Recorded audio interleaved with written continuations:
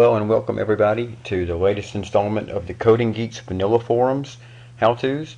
Today I'll be teaching everybody how to establish a single sign-on procedure that will link your WordPress website with your Vanilla Forums user authentication system. By doing this, it will allow us to have one single sign-on to connect to both Vanilla Forums and WordPress. Um, by doing this, we will eliminate the need for duplicate accounts and it will make your users life much, much easier whenever you start linking your discussion board with your WordPress website. It's a very easy um, procedure and should only take a few minutes. So let's go ahead and get started so I'm not wasting your time.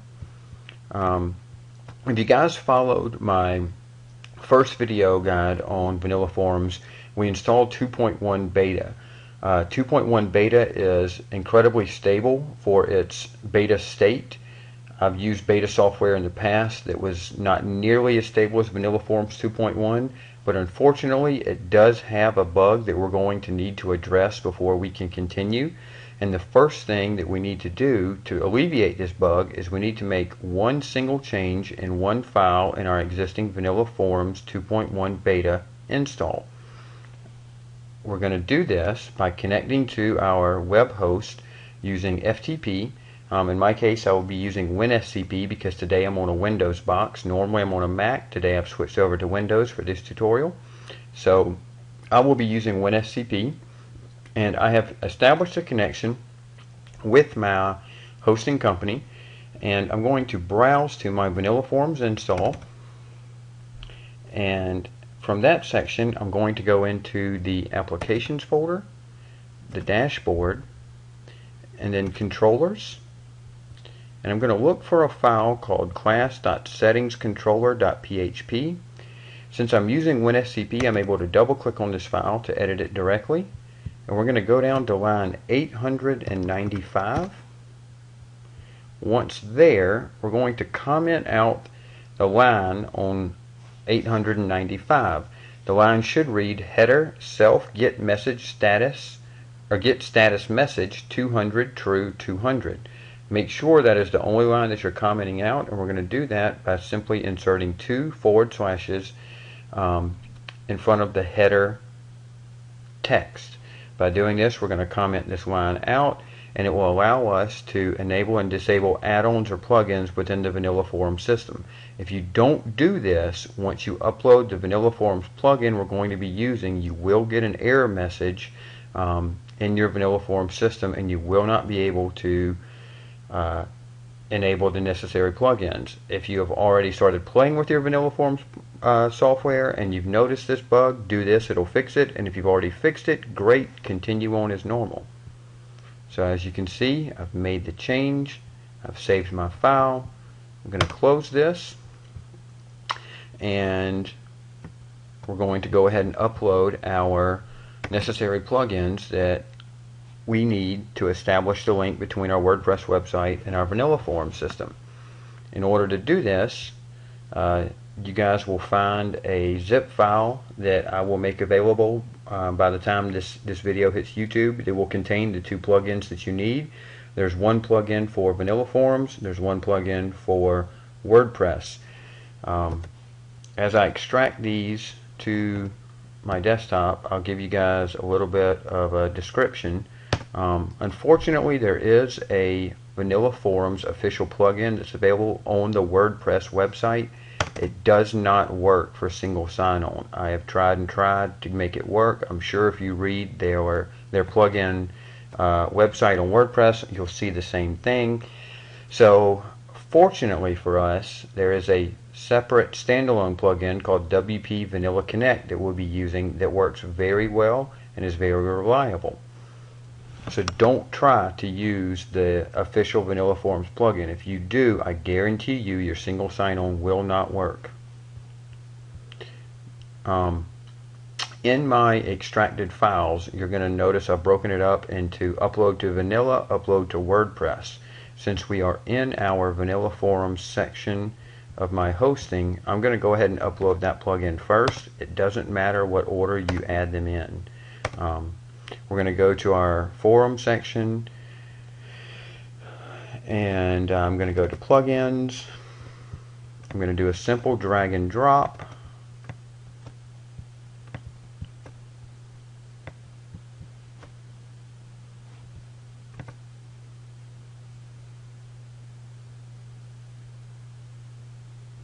Once that's done, I'm going to head over to my WordPress section, WP Content, Plugins directory. I'm going to upload the Vanilla Connect WordPress plugin.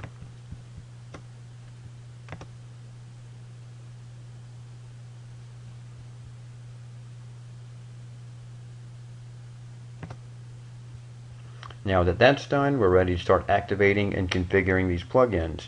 In order to do that, we're going to start at our Vanilla Forums website. I already have my dash or my uh, page pulled up. I'm going to head over to my dashboard of my Vanilla Forums system. I'm going to look for the add-ons section, plugins. Scroll down until we find the Vanilla JS Connect plugin and enable it. Now that we've done that, we're going to head over to our WordPress dashboard. Kind of the same scenario, plugins, installed plugins, and we're going to activate the WP Vanilla Connect plugin. After that's done, um, WP Vanilla Connect establishes itself under Users. So we're going to go to Users, WP Vanilla Connect. Um, if you guys notice, it's already going to have a client ID and a secret. We're going to leave those. Um, yours will be different because these get auto-generated uh, with your install. You can certainly scroll down here to the bottom and say regenerate and overwrite hashes if you want to, but we're going to take the defaults that it's already given us. We're going to tell WP Vanilla Connect where our forum is located. In my case, it's thecodinggeek.com forward slash demo forward slash forum. We're going to leave our cookie settings the same. And we are going to save our changes. Once you have saved your changes, we're going to go down to our uh, URL section and we're going to need these once we configure, in order to configure uh, the vanilla forum system. So leave this open, head back over to your vanilla forums. Once again, scroll down in your plugin section until you find Vanilla JS Connect and click Settings. We're going to add a connection and now we're just going to do some copy and pasting. I'm going to head up to the top. First of all, I'm going to copy over my client ID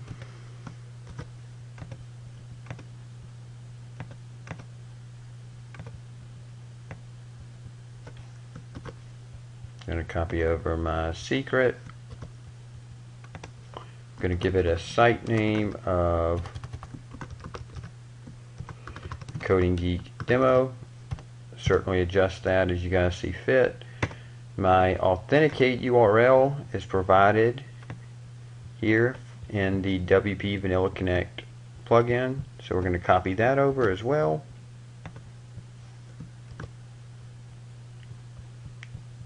We're also going to copy the sign in and the register URL.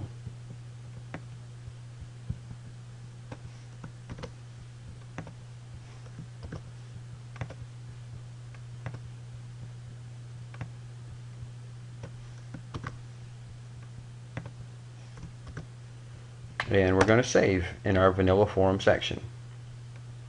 At this point, it's saved and we want to test it. As you can see, it has successfully outputted JSON. Yes, that is my email address. I have my admin username as well as my transient key and client ID. So we are good to go. Just going to hit the back button here.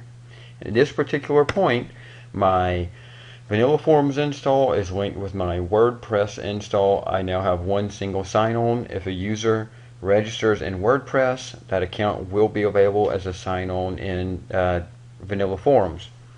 The only got you with this system is that the vanilla forums login will still appear. Your users will not have to input a password, but they will have to in, they will have to uh, still click on the sign in button. If you guys notice, Vanilla Forums is recognizing that I am admin from my WordPress website and it's asking me to sign in or register. Uh, this is a little bit confusing at first because most of you are going to say I'm already signed into WordPress. Why is it saying that I'm not?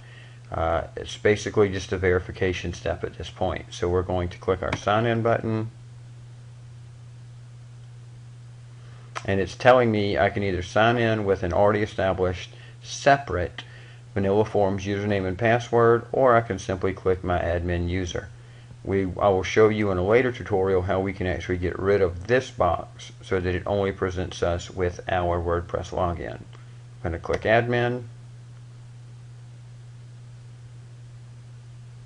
It's going to want me to input my password because my session has expired with WordPress.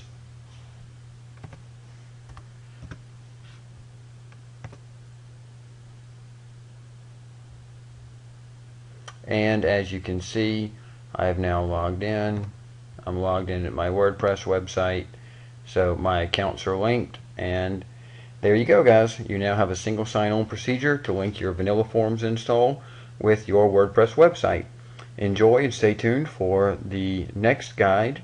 Um, not quite sure yet what the topic will be, but stay tuned at and stay tuned and look for thecodinggeek.com and uh, have fun.